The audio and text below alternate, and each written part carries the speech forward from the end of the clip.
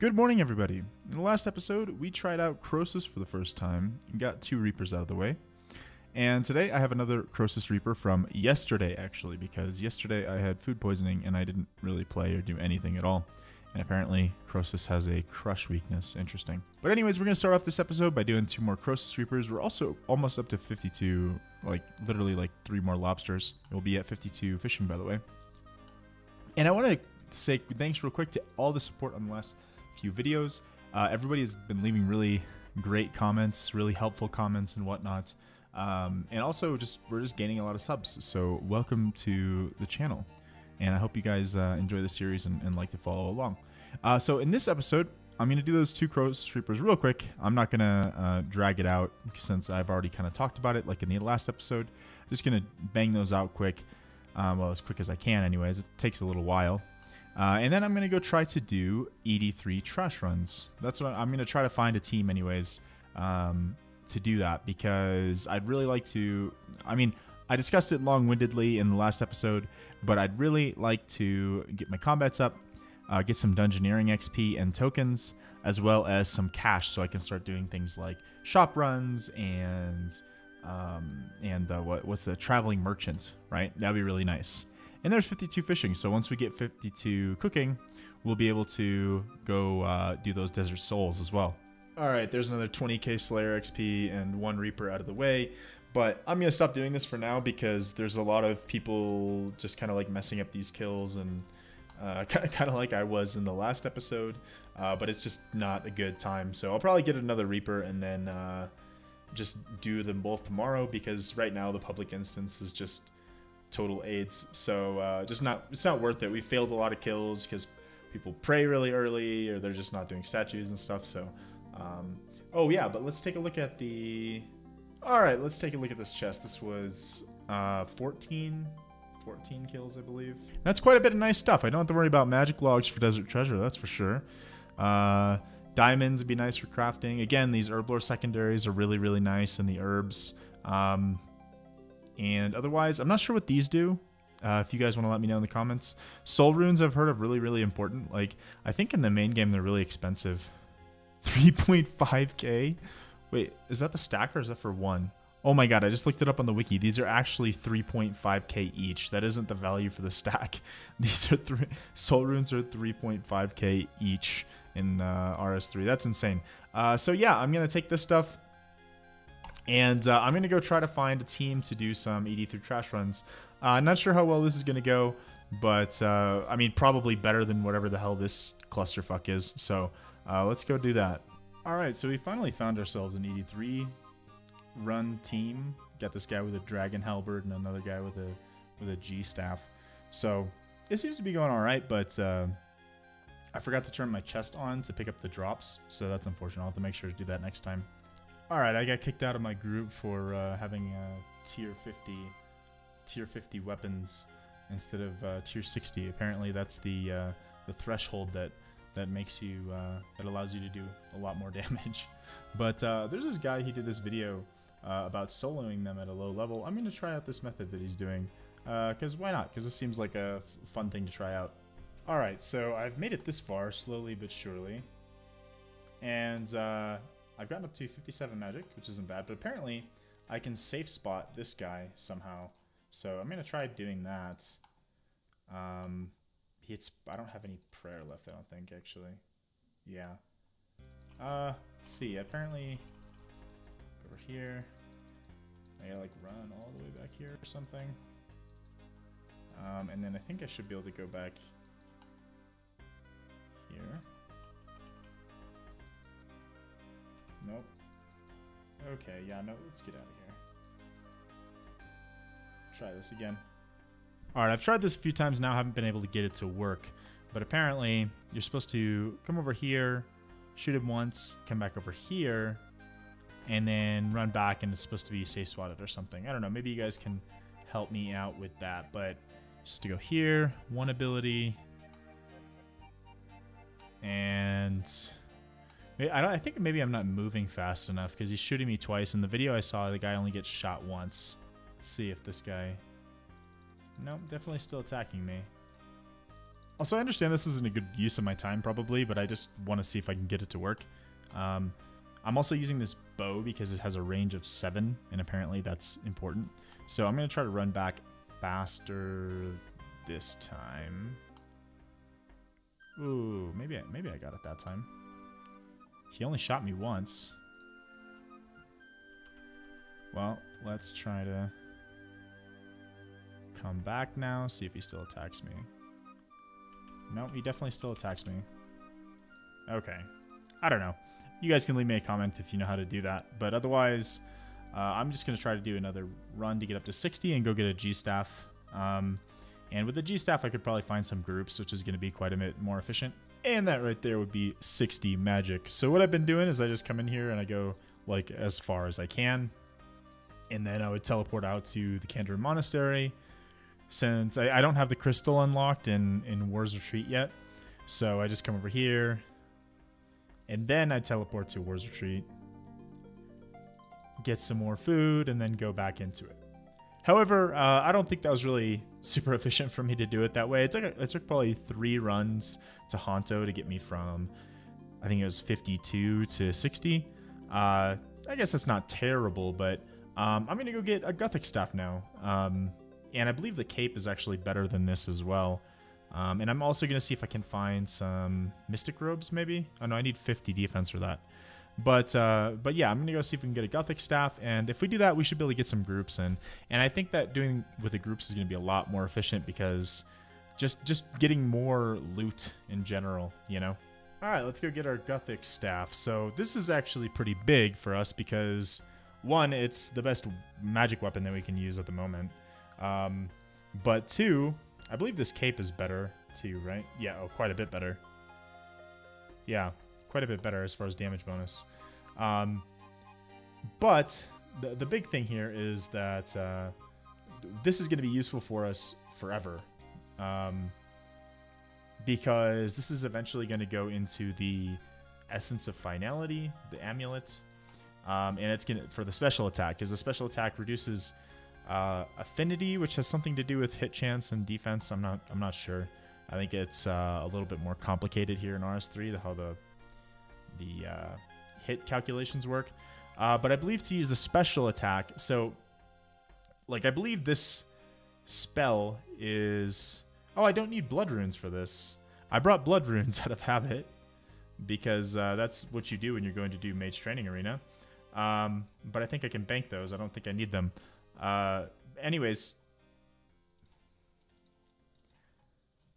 anyways, so like in old school, you do 100 casts, I think, or 200 casts in the mage training arena.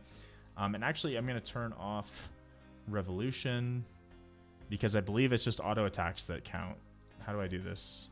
So yeah, what I was saying is that in old school, you need 100 casts to be able to use the spell outside of uh, outside of the arena. But uh, the spell is kind of useless in RS3, I believe. Um, but you need 100 casts to be able to use the special attack of the weapon, um, which is important for us. So I, I don't think it's that important for us right now. I'm not sure how good it is to use. Uh, but I think I'm just going to sit here and auto attack this guy because I'm pretty sure that's what counts anyways. There we go. We got 100 casts in, so now we unlock the spell as well as the special attack, which is what we're after. All right, I found a group. One guy just left, but I'm with this other guy, and uh, things are going pretty smoothly. Actually, a lot more smoothly than it was before. Um, I'm up to 62. Ma- I got two magic levels just off that one run. Um, and yeah, since the beginning of this, including the solos, I went from 13 to 22 dungeoneering, which uh, is not a lot of XP, but um, again, the early level dungeon is really, really slow, so that's really nice to get out of the way. Um, here we go. Let me ready up. Up to almost 50 HP now. So yeah, we're making some real progress. I should probably get up to like 50, 60 defense too so that I can wear uh, like Mystic and maybe Lunar Armor. Uh, well, maybe maybe uh, Lunar Diplomacy should be on my list then too. So we're just on our last run here uh, because cause my dude's got to go.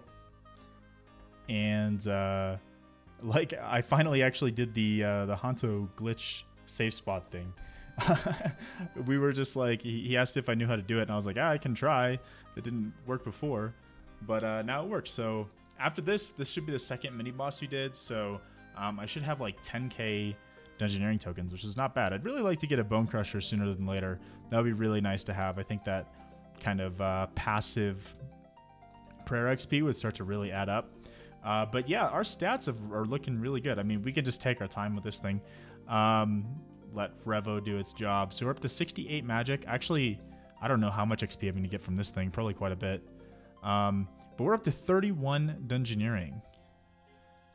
Um, we're up to 31 dungeoneering, which is huge from 13. Like, I, it's not crazy or anything, but like if I ever want to go back to doing real dunge, that's uh, like a nice head start, you know.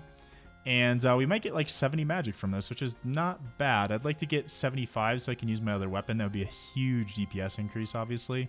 Um, but uh, my friend said that he's going to take me to do some tomorrow. I think he's got a little bit higher level Iron Man. So uh, after we're done with this, I think I'm going to go back to doing some some quests. Not sure what I'm going to do um, right this second. But uh, that's what we're going to do to finish off this episode, I think. And uh, tomorrow morning, we'll come back and do some more. Um, I think my friend's a pretty decent level Iron Man, so maybe he can kind of carry me through doing some melee and some ranged as well to get those up. I don't know. We'll see. Yeah, so that got us 32 dungeoneering. It was 22k XP in total. A lot of XP there. This is actually like, I hasn't really registered with me yet, but this is like an insane amount of XP that I've gotten. Like, I went from like 50 to 68 magic in not very much time. Actually, let me finish this run. Maybe I'll get 69.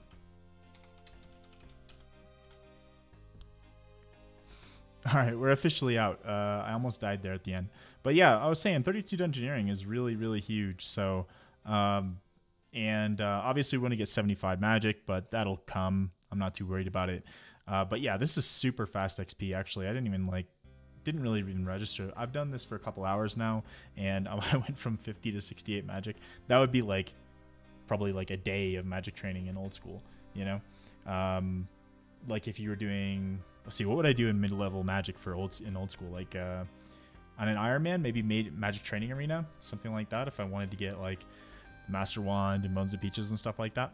Uh, but yeah, anyways, moving on. I'm gonna look up some quests that we can do um, to finish off this episode, and we'll go from there. All right, so it's getting pretty late, and uh, I think what I'd like to do to finish off this episode, I mentioned it early in the video, but I think Lunar Diplomacy would be a good quest for us to go for.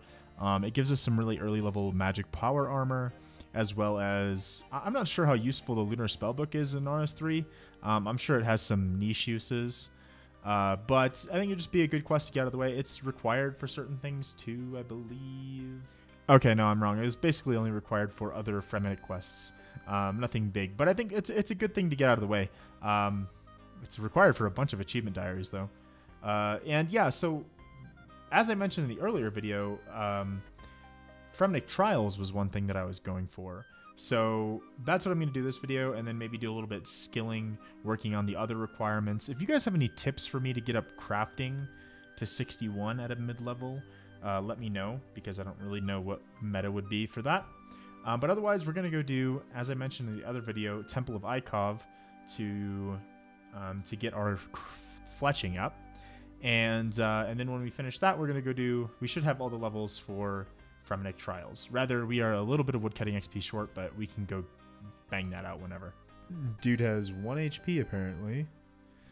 And that is the Temple of Ikov, which gives a bunch of fletching and ranged XP, almost up to 42, and 28, which is plenty enough for um, Trials. So let's go uh, do some woodcutting, get up to 40 woodcutting, and we can go do that. And that would be 40 woodcutting. Let's go do Fremennik Trials, as well as bonus clip. We got some uh, dungeoneering level, smithing level, and uh, that's it, I think. And uh, we also get these extra battle pass rewards. Soul Reaper refresh that's a little bit overwhelming for me at this point, I think. But then, oh, the monthly D&D token. I believe I asked, I don't think anybody answered me on that last time, but uh, what should I use this on? What is the best monthly D&D to be using that on? Give me, give me a holler in the comments. Shit, I need a raw shark. So uh, detour time. Uh, according to the wiki, I can get one from temple trekking. So um, I guess we're gonna go do those quests real quick. And that would be in search of the Myreque. And that would be in Aid of the Myreque. Which, uh, psh, honestly, I'm tired. I'm going to wait, and I think I'm going to do the Fremennik Trials tomorrow, as well as the Temple Trekking. I can't forget about that. I need to do Temple Trekking to get the shark. That's that's what I did this for, so I can't forget that in the morning. Well, I didn't forget my shark this morning, but if you want to talk about some uh, outdated quests, uh, I just beat Koschei the Deathless's fourth form with uh, level 40 stats and just one Ring of Recoil. That's a. Uh, I've never seen that happen before. And that should be the yep the Fremennik Trials. Get a little bit of XP in like every skill they rounded it off to 2800 i always thought it was a weird number like like 2612 or something like that. Did they change that recently? Okay apparently it says 2800 but if i do this yeah it's 2812 okay that's weird. But yeah we get a bunch of xp here. Let's see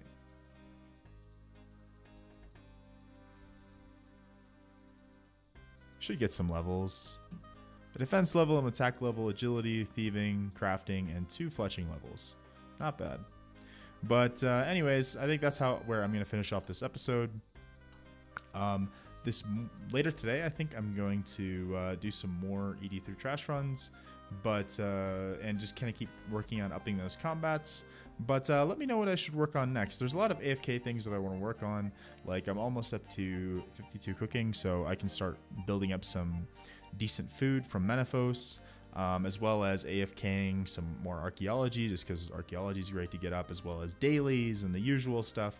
Like there's lots of stuff that I'll be working on, but as far as the next active steps that I should take, uh, wh what do you think I should do? Leave me a comment.